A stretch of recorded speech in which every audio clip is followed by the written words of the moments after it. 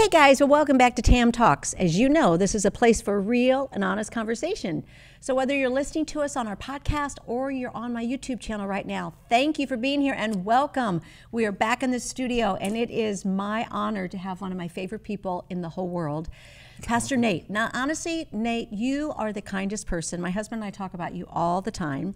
You are um, the lead pastor here at Influence Church, and you have such a heart for people. And you are so kind. Like sometimes we just think you're not even real. You're just, you know, there's something about you. So, I, I, are you this nice, like at home with your wife and everything? Are you just? Yeah, I try to be. Oh yeah, oh, see, he's just even honest. Yeah. Um, you're a good man. Oh, You're, thank you know, you. we need to raise up more men like you. Oh, thank but you. But it's such an honor because, as you know, we here at Influence Church are going through a 21 day fast Yes, based on my book, Fasting for Miracles, and I've invited you to come in. We're going to dialogue today about day 17 Okay. in our fast. Yes. So let's just talk a little bit. If you're joining us on our fast, we're on day 17, so fasting for miracles. So we've been walking through this podcast series on believing God for miracles and using our fast, which is really a way that we just submit ourselves and offer ourselves to God.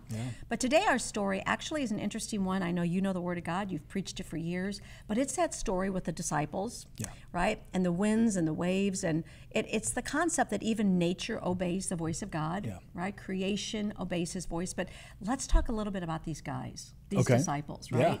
And how many times we've been in the boat Yeah. and we cry out in fear. Now, here's what I noticed. In chapter 8, here they are, right? They go out and Jesus is with them. They're on the boat. They're all freaking out because there's that storm. We've all had those storms. And he comes up and says, Peace be, be with you. Do you realize it's only a couple chapters later when they're back on the boat? Jesus has gone up to the mountain to pray. He comes out to be with them and they're freaking out. He's walking on the water. Let's talk a little bit about the fact that once God teaches us something and He gives us peace, it doesn't seem like much later in our life that we're right back in the same boat. Talk to me about that. Has there ever been a time in your life where God was with you and that it seemed like just in a short amount of time He had to teach you the same lesson over again? Yeah, definitely. And I think that, you know, in life, we think that being in God's presence and being close to Jesus means that there'll be no worries.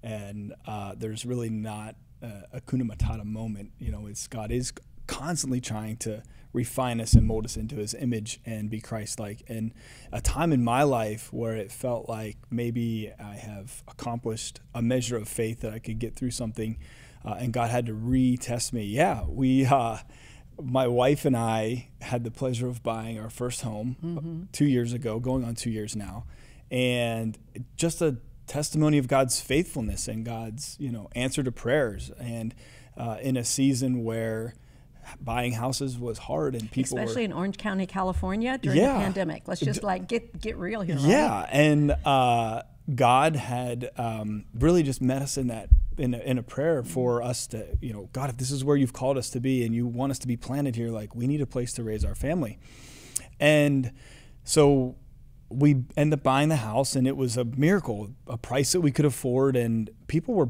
buying tens, you know, paying tens and thousands over asking price to get properties. And here we are, you know, the house need we needed to fix it up.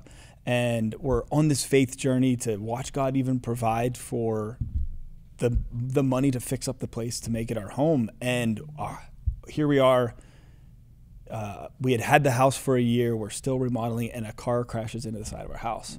And I had told my wife as we got the place, and I told Erica, you know, it's gonna it's gonna take some time for us to remodel this, and you know, hopefully it won't take too long, and hopefully it won't take too much extra money.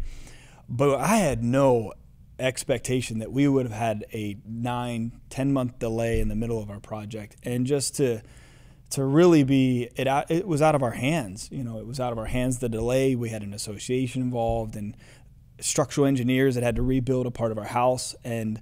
So yeah, you know, you're on this faith journey, and you're like, you know, we held the answer to our prayer in our hands, and then mm-hmm. God's like, no, we need to circle, we need to circle back around again.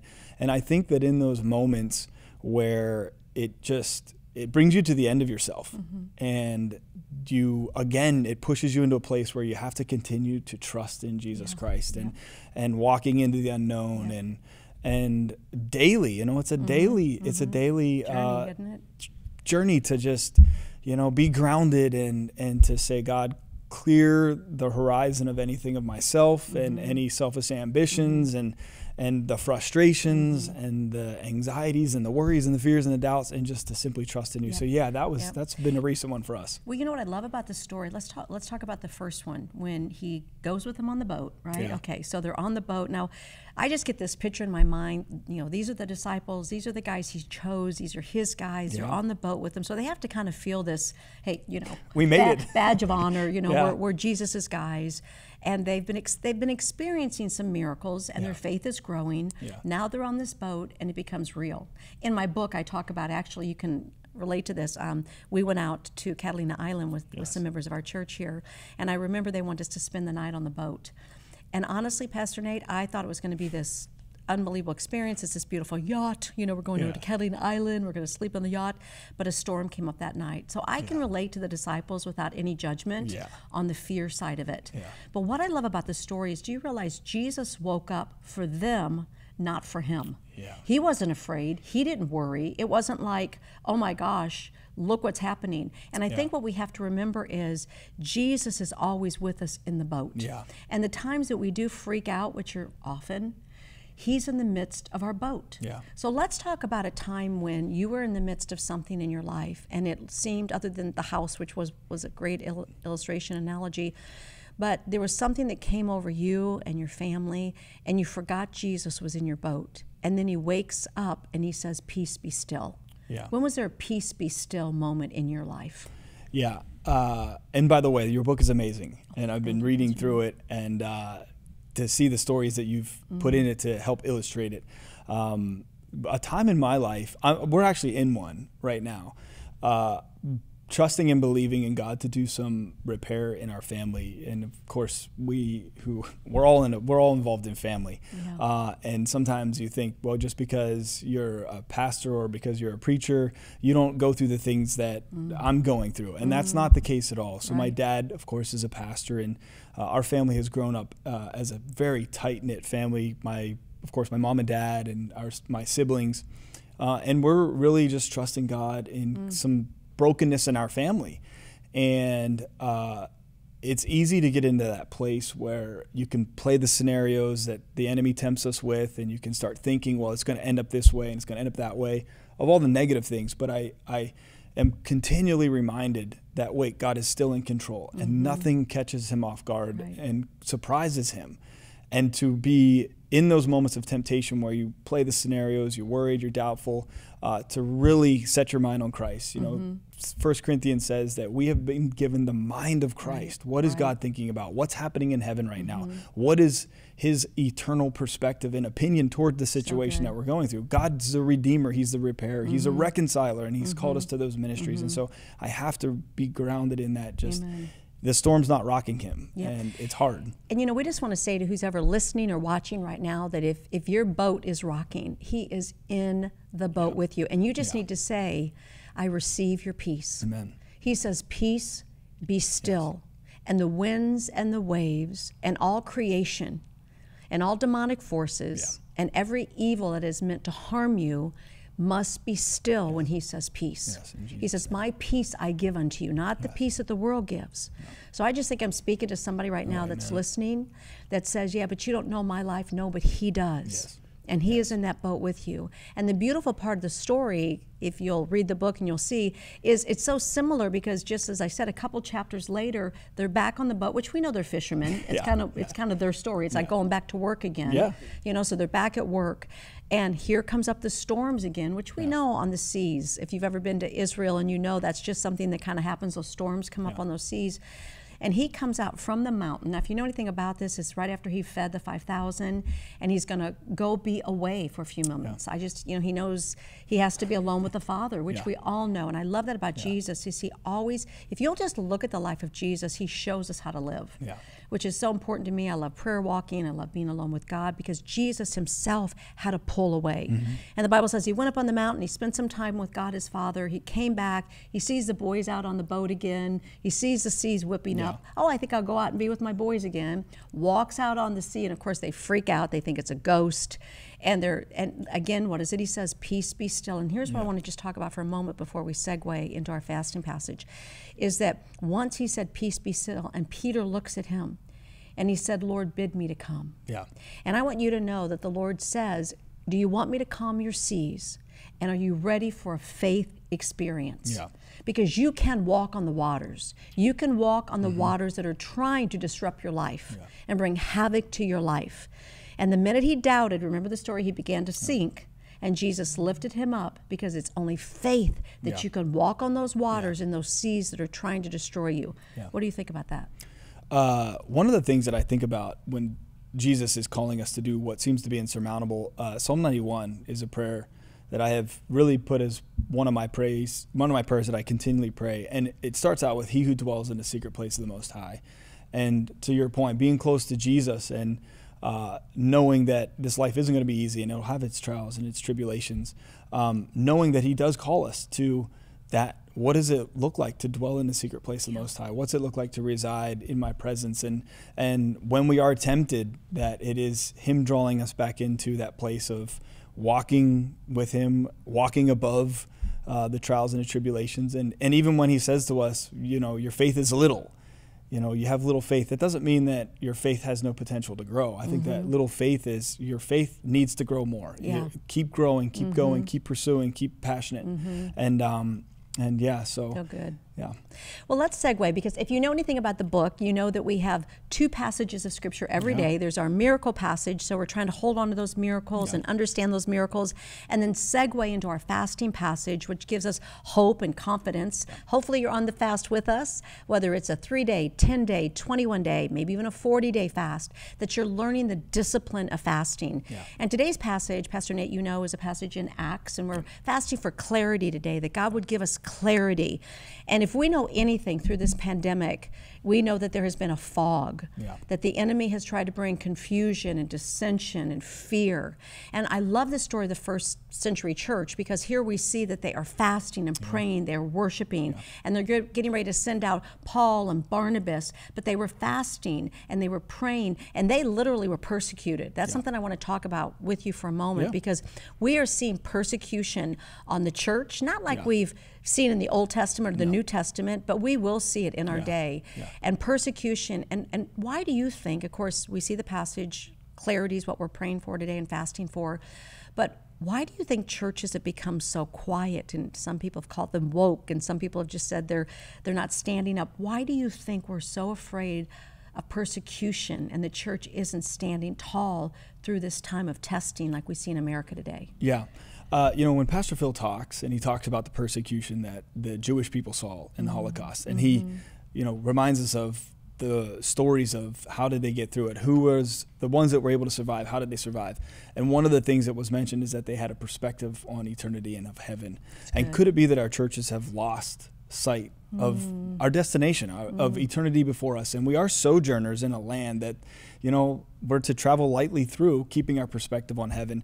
And I would have to say, is that something we've lost sight on? Have our preachers stopped preaching on eternity and heaven and, and truly that we are to be working toward heaven and the reward of, of what Jesus has promised us as his followers? yep. So I, that, that would be where I would kind of resonate Yeah. with. And you know, the, the thing we always forget is that Jesus worked with more of a remnant than he ever mm-hmm. did the masses and multitudes. He fed them, they came along for the show. and I think we, we need to be aware that there will always just be a few. Yeah.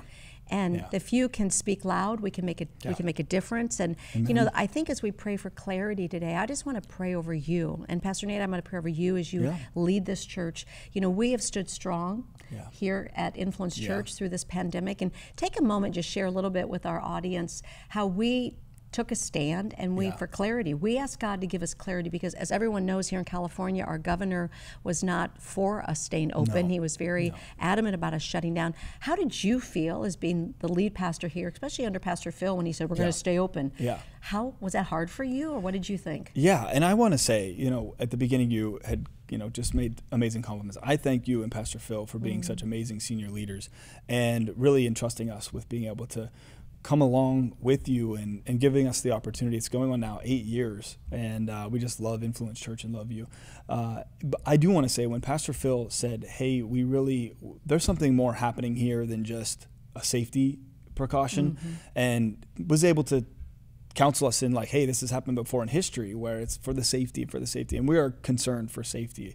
Uh, but first and foremost is people's spiritual maturity and growing in Christ-like manner. And so when Pastor Phil said, hey, I feel that we're we need to we need to push back and we need to open up.